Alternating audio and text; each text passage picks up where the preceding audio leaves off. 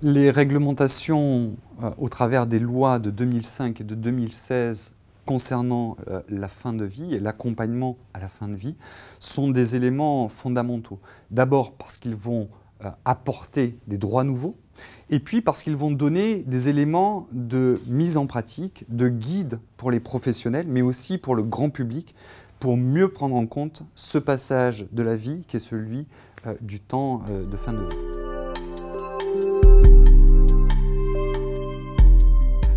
Reste, au-delà des euh, questions de dispositifs réglementaires, la question de la mise en œuvre de ces dispositions.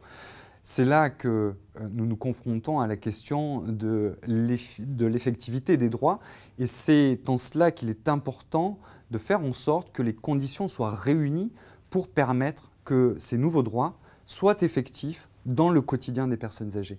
Et c'est là l'enjeu certainement à venir, faire en sorte que cette meilleure information, cette meilleure prise en considération, ce meilleur accompagnement des personnes âgées, mais aussi des équipes et de leurs familles, soit réel au quotidien, tous les jours, dans les établissements et aussi dans les services à domicile. C'est là les enjeux pour ces établissements et ces services à domicile.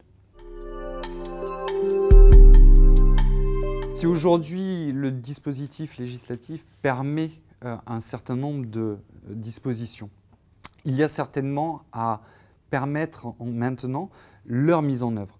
Parce que donner des lois, ça ne permet pas juste de décréter leur mise en œuvre, il faut en créer les conditions comme je l'évoquais.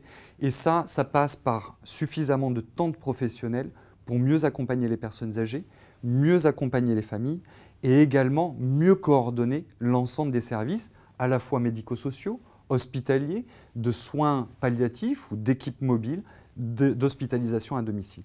Tout cela prend du temps et puis ce qui prend le plus de temps dans ces questions de fin de vie, c'est aussi les réflexions éthiques. C'est aussi combien nous pensons la situation, combien elle est appropriée pour la personne qui doit en bénéficier, combien effectivement la personne qui doit être bénéficiaire de ces dispositions se sent entendu, se sent accompagné. Et ça, ça demande du temps. C'est en cela que l'ADEPA pense que la création d'une prestation autonomie, par exemple, qui permettrait d'augmenter le temps passé auprès des personnes âgées, leur assurerait un meilleur accompagnement au quotidien, mais aussi tout au long de leur, euh, de leur vie, et particulièrement au cours de leur fin de vie, à domicile et en établissement.